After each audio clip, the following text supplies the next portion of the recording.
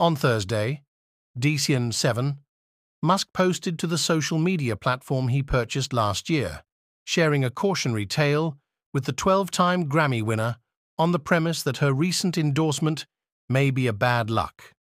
Some risk of popularity decline after this award, Musk wrote. I speak from experience, lol.